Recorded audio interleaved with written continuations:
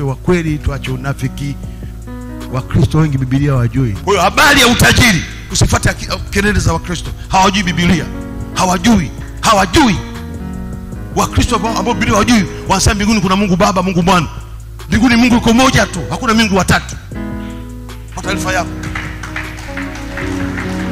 muite mzee wa upako ama e, mzee ambaye mwenye busara zake na hekima zake. Mimi hupenda kumwita pia hivyo. Huyu ni Lusekelo, moja kati ya wachungaji wakubwa sana sana sana nchini Tanzania. Mm, nimejiuliza kwa nini alizungumza hivyo, lakini sikuweza kumwelewa. Okay, e, Wakristo wengi Bibilia hamuijui kweli au mzee wa upako anataka matusi? Maana mm, sio kwa yale maneno ambayo uwaga mnadondosha kwenye comment. So e, juu ya inshu ya utajiri bwana, Wakristo wengi hawaijui Bibilia, na anasema kabisa tuwe wa kweli tu, Wakristo wengi hawaijui Bibilia.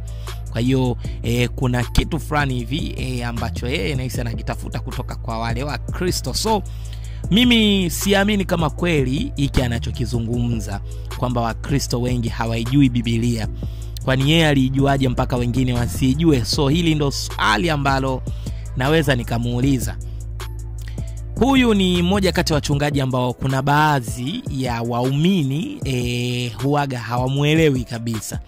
Yaani kuna wakristo e, ukiwaambia lusekelo mm, aisee hapana yani hawaingii kabisa akilini. Wao humwita mzee wa upako lakini upako wake haujawahi kuwaingia hao waumini wa kweli. So jinsi ambavyo anavyokuwa viral na maneno fulani. So siku chache hivi kuna maneno aliongea akisema kwamba e, hakuna e, sehemu iliyoandikwa kwenye bibilia kwamba mtu azikwe kwenye sanduku. Kwa hiyo mm, hii kauli nayo ikaja ikamzulia vitu fulani hivi. Yes kama unavyoona tiktok waga hapamwachi mtu kinyonge. Watu wakamtukana watu wakamtupia maneno o, wewe mchungaji wa mchongo sijui hivi na vile nini na nini. So kuna maneno mengi sana sana sana sana. Mimi nakuacha tena na hii clip hebu isikilize tena hii sauti yake alafu drop comment. Kweli hujui bibilia utakometisha kinomanoma kama ukiacha comment. Usisahau kusubscribe pia. Utakometisha kinomanoma. Drop comment hapo chini utuambie umemwelewa lusekelo. Tuwe wakweli tuache unafiki. Wakristo wengi bibilia hawajui. kwa hiyo habari ya utajiri, usifuate aki- kelele za Wakristo, hawajui bibilia hawajui, hawajui.